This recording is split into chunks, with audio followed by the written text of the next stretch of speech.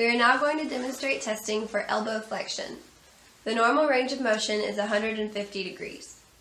For range of motion testing, the client will be sitting with shoulder and elbow in anatomical position with the humerus stabilized.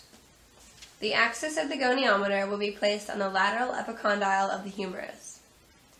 The stationary arm will be placed parallel to the long axis of the humerus, pointing toward the tip of the acromion process. The movable arm will be placed parallel to the long axis of the radius, pointing to the styloid process of the radius. The client will then flex the elbow.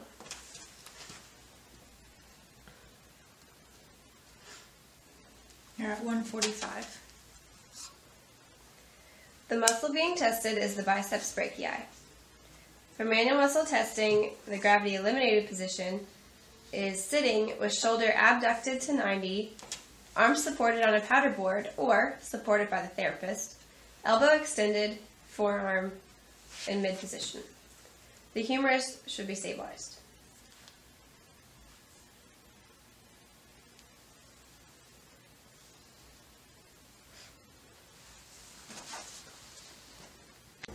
For manual muscle testing against gravity, the client will be supine with shoulder and elbow in anatomical position, forearm supinated. Stabilization by the therapist is given to the humerus. The client will then flex the elbow against gravity. Then, resistance by the therapist is given proximal to the wrist on the anterior aspect of the forearm. The client will then flex the elbow against resistance.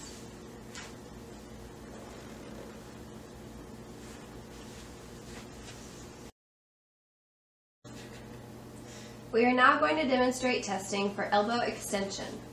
The normal range of motion is 0 degrees. For range of motion testing, the client will be supine with shoulder and elbow in anatomical position, a towel or pad under the distal humerus, and the humerus stabilized. The axis of the goniometer will be placed over the lateral epicondyle of the humerus. The stationary arm will be placed parallel to the long axis of the humerus, pointing toward the tip of the acromion process. The movable arm will be placed parallel to the long axis of the radius, pointing toward the styloid process. The client will then extend their elbow.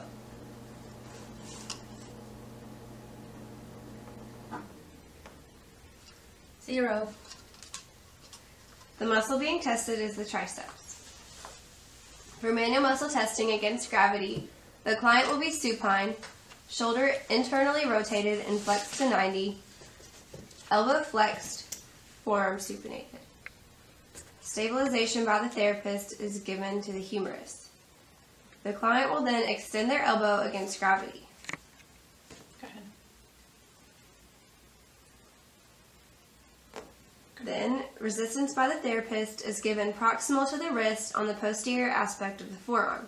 The client will then extend the elbow against resistance.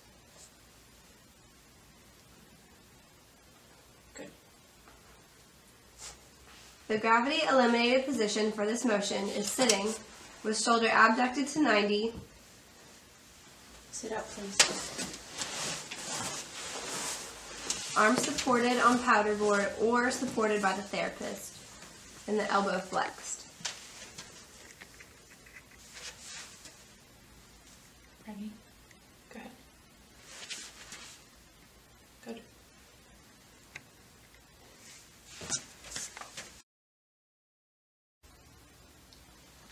We are now going to demonstrate testing for supination. The normal range of motion is 80 degrees. For range of motion testing, the client will be sitting with arm at side, elbow flexed to 90, forearm in mid position, with pencil held tightly in hand, wrist in neutral, humerus stabilized. The axis of the goniometer will be placed over the head of the third metacarpal. The stationary arm will be placed perpendicular to the floor. The movable arm will be placed parallel to the pencil. The client will then supinate.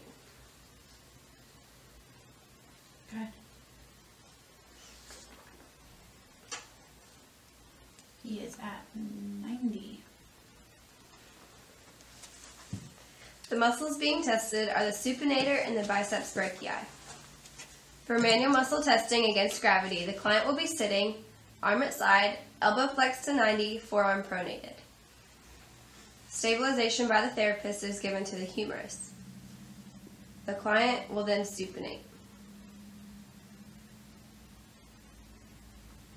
Then resistance by the therapist is given on the posterior surface of the distal radius with counter pressure on the anterior aspect of the ulna. The client will then supinate against resistance.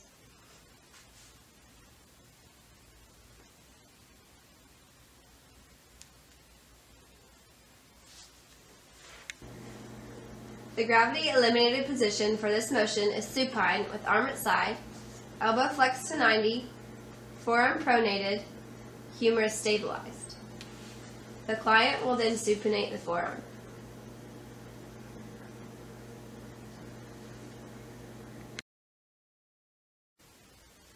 We are now going to demonstrate testing for pronation.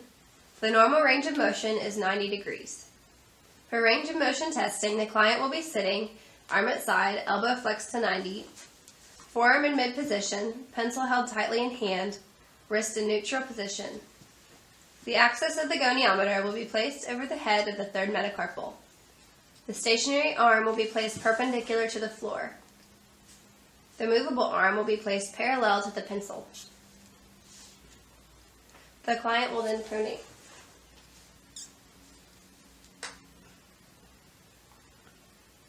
And he's at 90 degrees.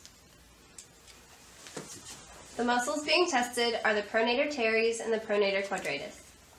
For manual muscle testing against gravity, the client will be sitting, arm at side, elbow flexed to 90, forearm supinated. The client will then pronate against gravity. Then resistance by the therapist is given on the anterior surface of the distal radius with counter pressure on the posterior aspect of the ulna. The client will then pronate against resistance.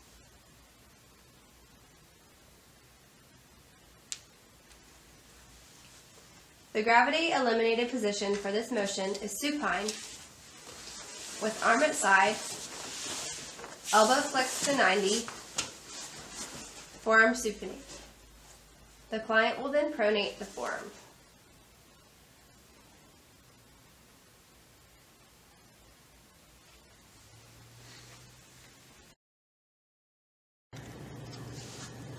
We are now going to demonstrate testing for wrist flexion. The normal range of motion is 80 degrees. For range of motion testing, the client will be sitting with the elbow flexed at 90 degrees, forearm pronated and resting on the table with the wrist and hand hanging off the edge of the table. The axis of the goniometer will be placed on the ulnar styloid process. The stationary arm will be placed parallel to the ulna. And the movable arm will be placed parallel to the axis of the fifth metacarpal. The client will then flex the wrist as much as possible.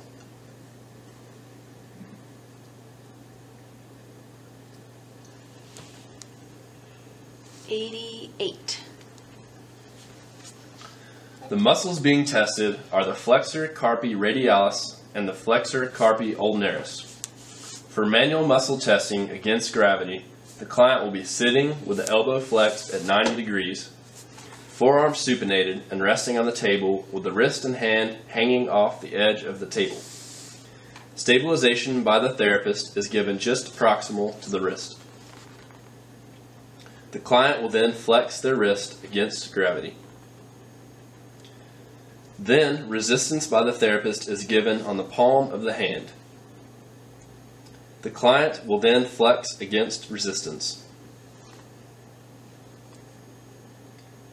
The gravity eliminated position for this motion is sitting with a forearm in mid position with the wrist and hand supported by the table. The client then moves through range of motion.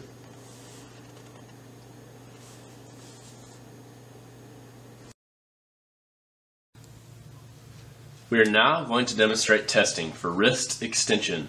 The normal range of motion is 70 degrees. For range of motion testing, the client will be sitting with the elbow flexed at 90 degrees, forearm pronated, and resting on the table with the wrist and hand hanging off the edge of the table. The axis of the goniometer will be placed on the ulnar styloid process. The stationary arm will be placed parallel to the ulna. And the movable arm will be placed parallel to the axis of the fifth metacarpal. The client will then extend the wrist as much as possible.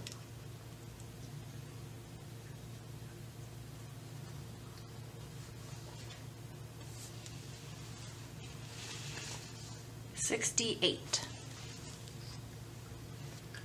The muscles being tested are the extensor carpi radialis longus, extensor carpi radialis brevis, and the extensor carpi ulnaris. For manual muscle testing against gravity, the client will be sitting with the elbow flexed at 90 degrees, the forearm pronated and resting on the table with the wrist and hand hanging off the edge of the table. Stabilization by the therapist is given just proximal to the wrist. The client will then extend their wrist against gravity. Then, resistance by the therapist is given over the dorsal aspect of the hand over the metacarpals. The client will then extend against resistance. The gravity eliminated position for this motion is sitting with the forearm in mid position with the wrist and hand supported by the table. The client then moves through range of motion.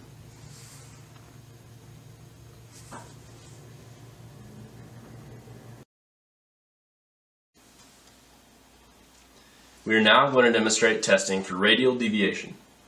The normal range of motion is 20 degrees. For range of motion testing, the client will be sitting with the forearm rested on the table in pronation.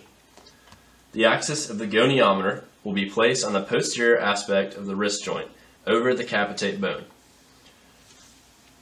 The stationary arm will be placed along the midline of the forearm.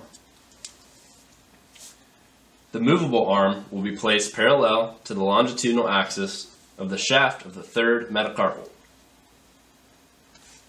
The client will then radially deviate the wrist.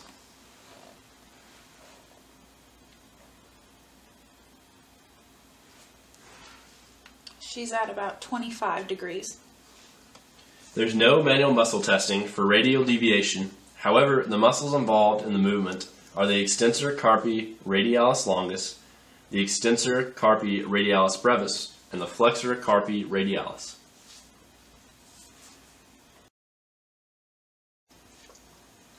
We are now going to demonstrate testing for ulnar deviation. The normal range of motion is 30 degrees. For the range of motion testing, the client will be sitting with the forearm rested on the table in pronation and the wrist in neutral. The axis of the goniometer will be placed on the posterior aspect of the wrist joint over the capitate bone. The stationary arm will be placed along the midline of the forearm. The movable arm will be placed parallel to the longitudinal axis of the shaft of the third metacarpal. The client will then ulnarly deviate the wrist.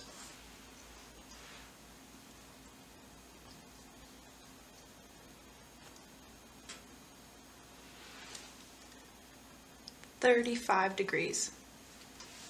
There is no manual muscle testing for ulnar deviation. However, the muscles involved in the movement are the flexor carpi ulnaris and the extensor carpi ulnaris.